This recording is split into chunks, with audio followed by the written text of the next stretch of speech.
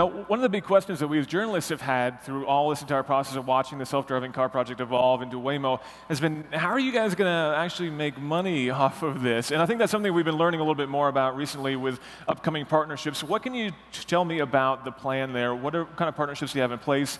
And what sort of vision do you see for, for that side of the business, which ultimately will make the business? That's great.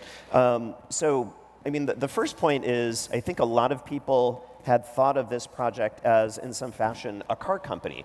Um, but we're really not a car company. Our, our job is to make the world's most experienced drivers. So that's, that's first and foremost. We're, we're building really great, really safe drivers that can be deployed in a lot of ways.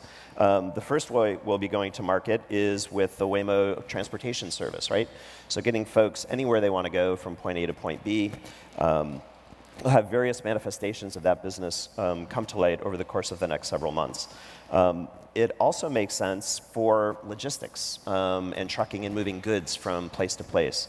Mm. Um, and we've shared a little bit about um, putting this same suite of sensors and compute um, into a large Class 8 truck. The good news is it works very well with very little modification required uh, to drive a very big truck down the road. Um, so there's more to come on that.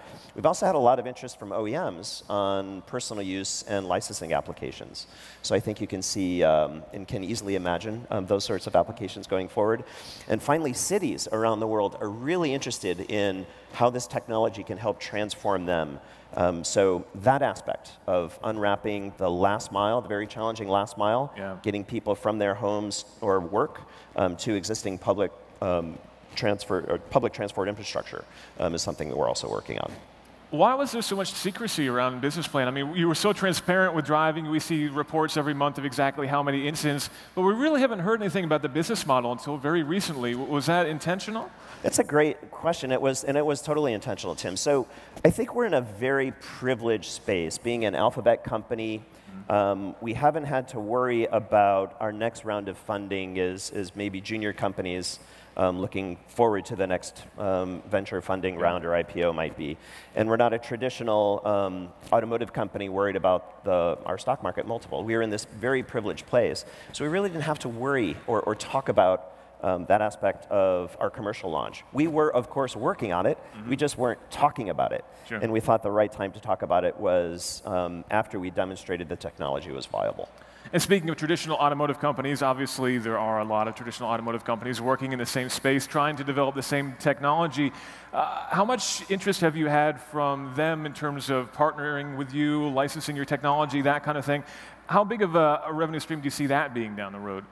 Um, well, I think it's, it's super interesting. Um, obviously, there's been a lot of interest um, from both sides. We're interested in talking to the automotive companies.